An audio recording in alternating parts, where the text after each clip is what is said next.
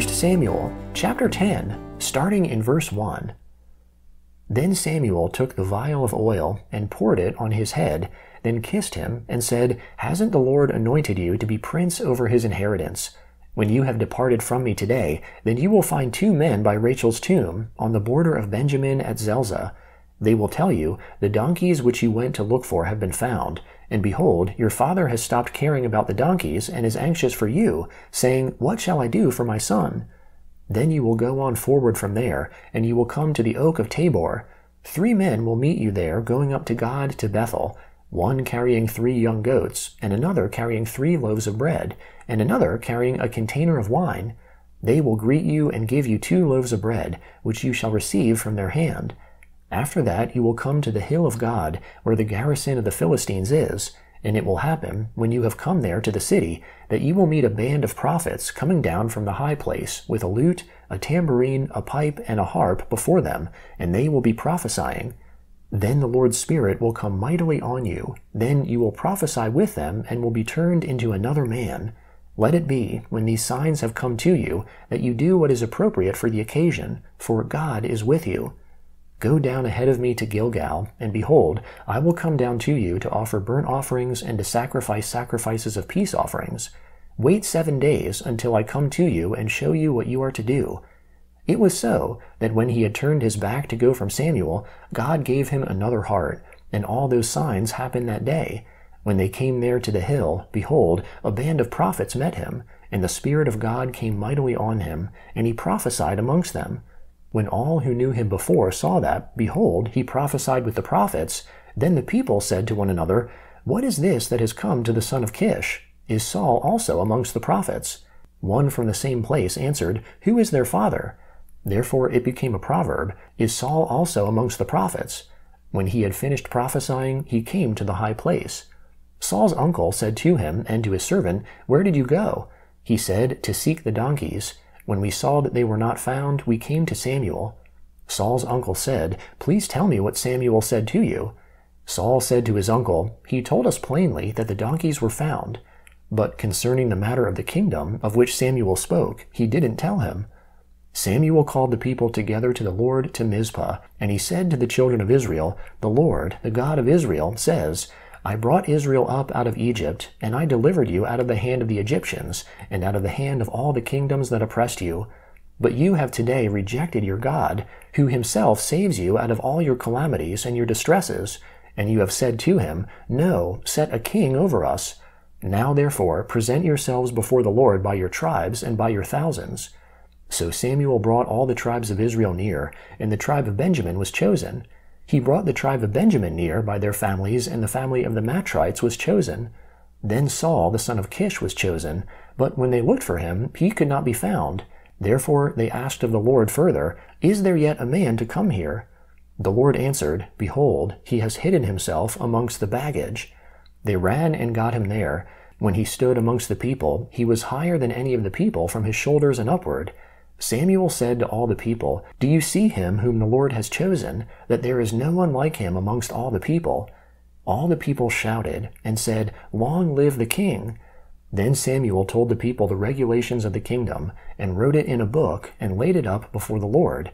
Samuel sent all the people away, every man to his house.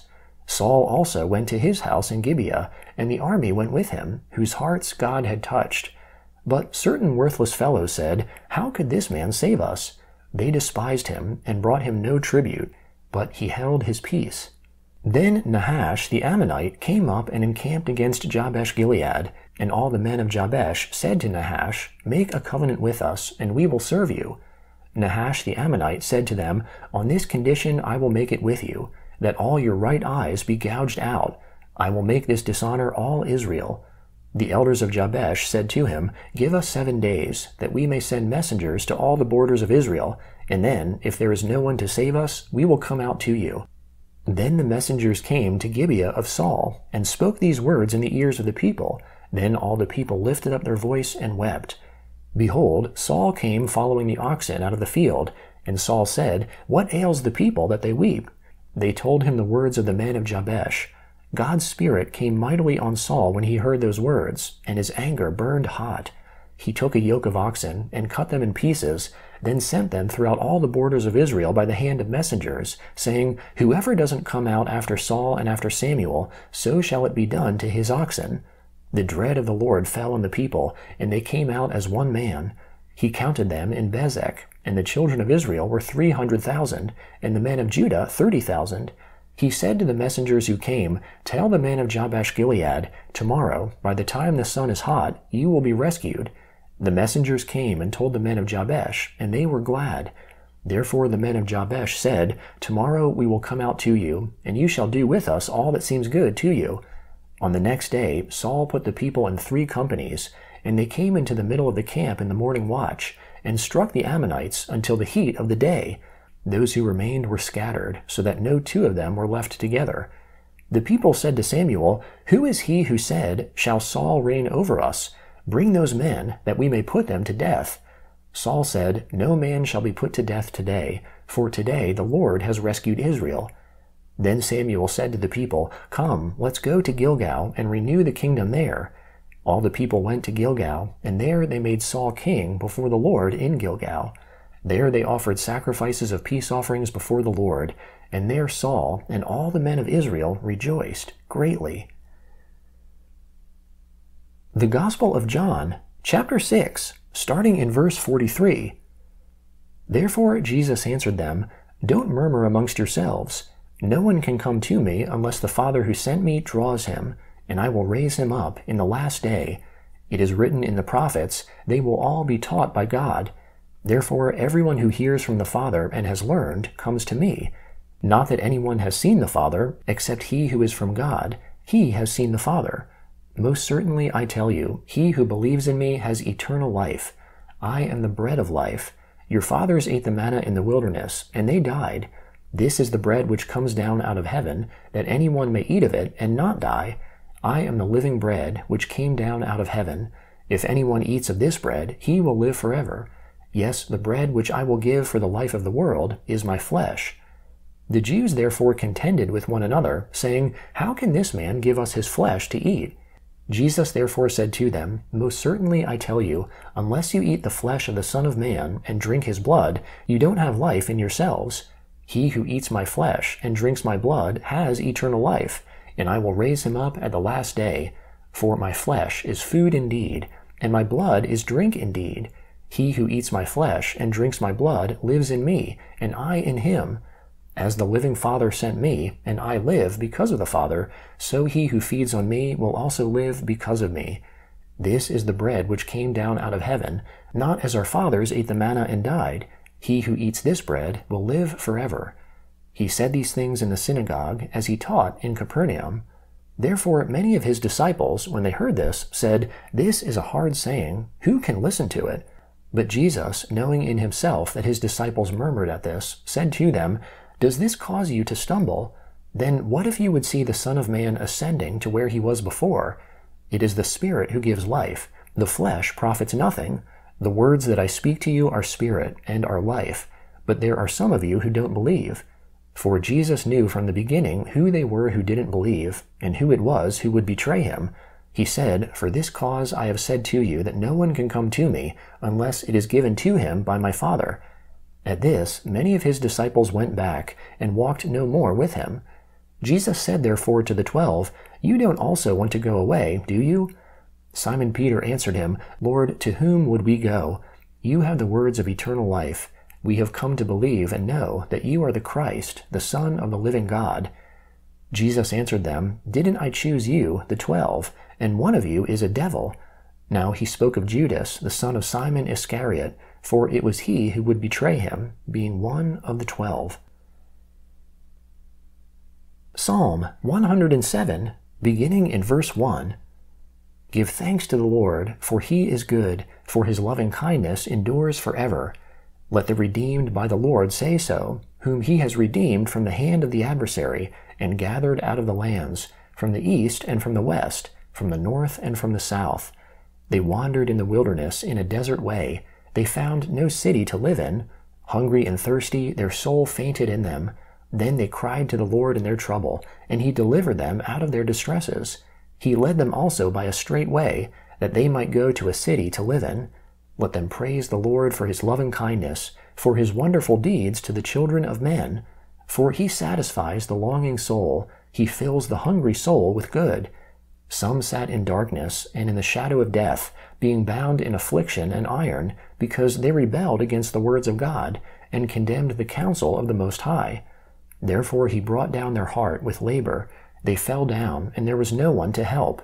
Then they cried to the Lord in their trouble, and he saved them out of their distresses. He brought them out of darkness and the shadow of death, and broke away their chains. Let them praise the Lord for his loving kindness, for his wonderful deeds to the children of men. For he has broken the gates of bronze, and cut through bars of iron. Fools are afflicted because of their disobedience, and because of their iniquities. Their soul abhors all kinds of food. They draw near to the gates of death.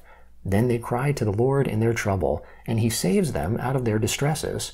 He sends his word, and heals them, and delivers them from their graves. Let them praise the Lord for his loving kindness, for his wonderful deeds to the children of men. Let them offer the sacrifices of thanksgiving, and declare his deeds with singing. Those who go down to the sea in ships, who do business in great waters, these see the Lord's deeds, and his wonders in the deep. For he commands and raises the stormy wind, which lifts up its waves. They mount up to the sky, they go down again to the depths. Their soul melts away because of trouble. They reel back and forth, and stagger like a drunken man, and are at their wits' end. Then they cry to the Lord in their trouble, and he brings them out of their distress. He makes the storm a calm, so that its waves are still. Then they are glad because it is calm, so he brings them to their desired haven. Let them praise the Lord for his loving kindness, for his wonderful deeds for the children of men. Let them exalt him also in the assembly of the people, and praise him in the seat of the elders. He turns rivers into a desert, water springs into a thirsty ground, and a fruitful land into a salt waste, for the wickedness of those who dwell in it. He turns a desert into a pool of water, and a dry land into water springs. There he makes the hungry live, that they may prepare a city to live in sow fields, plant vineyards, and reap the fruits of increase. He blesses them also, so that they are multiplied greatly. He doesn't allow their livestock to decrease. Again, they are diminished and bowed down through oppression, trouble, and sorrow. He pours contempt on princes, and causes them to wander in a trackless waste. Yet he lifts the needy out of their affliction, and increases their families like a flock. The upright will see it, and be glad. All the wicked will shut their mouths. Whoever is wise will pay attention to these things. They will consider the loving kindnesses of the Lord. Proverbs chapter 15, starting in verse 1. A gentle answer turns away wrath, but a harsh word stirs up anger. The tongue of the wise commends knowledge, but the mouths of fools gush out folly. The Lord's eyes are everywhere, keeping watch on the evil and the good